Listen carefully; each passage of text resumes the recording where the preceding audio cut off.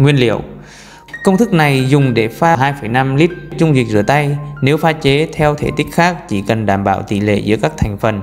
Ngoài ra, WHO cũng khuyến cáo với điều kiện cơ sở vật chất tại gia đình, thể tích mỗi mẹ pha chế không được vượt quá 50 lít để đảm bảo an toàn.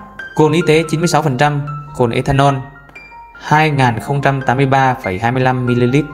Thành phần hoạt tính để khử trùng tay có thể tự pha chế bằng cồn nguyên chất. Nước oxy già 3%, 104,25 ml có tác dụng ngưng hoạt bào tử vi khuẩn bị nhiễm trong dung dịch. Glycerin 98%, 72,5 ml. Thành phần đóng góp vai trò giữ ẩm chăm sóc da. Nước cất hoặc nước đun sôi để nguội hoặc nước lọc. Nước cất được khuyến cáo sử dụng nhưng nước máy đun sôi để nguội, nước lọc cũng có thể sử dụng miễn là không nhìn thấy các hạt bẩn trong nước. Chai hoặc bình lớn hơn hoặc bằng 2,5 lít để pha chế. Có thể sử dụng chai hoặc bình thủy tinh hoặc nhựa. Dùng cụ đông thể tích, có thể sử dụng ống đông, ca đông, xi lanh miễn là có thể đong được mức thể tích cần dùng của các loại hóa chất đã đề cập. Ở đây mình dùng bình sữa cũ của con để đong.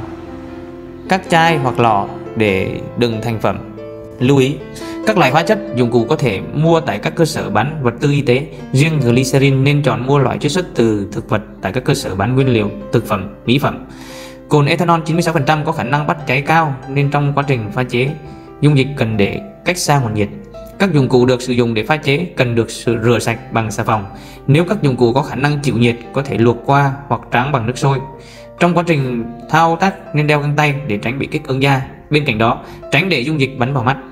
Cách thực hiện Đong 2083,25ml cồn rồi đổ vào bình chứa. Ở đây mình dùng bình 5 lít.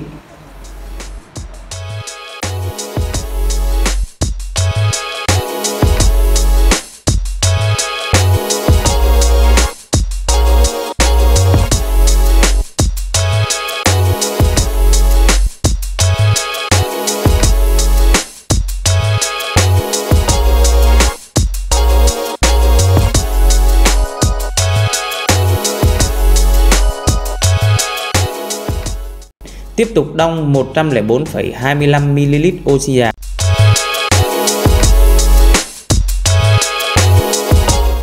Rồi thêm vào bình chứa. Đong 72,5ml glycerin rồi cho vào bình chứa. Chú ý, vì glycerin rất nhớt sẽ còn dính lại dụng cụ đong nên cần tráng lại bằng nước cất hoặc nước đun sôi để nguội khoảng 2 đến 3 lần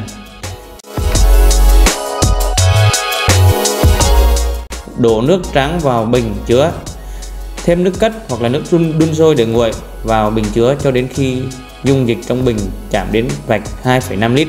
Vặn nắp lại ngay sau đó để tránh bay hơi lắc đều bình chứa để được dung dịch đồng nhất.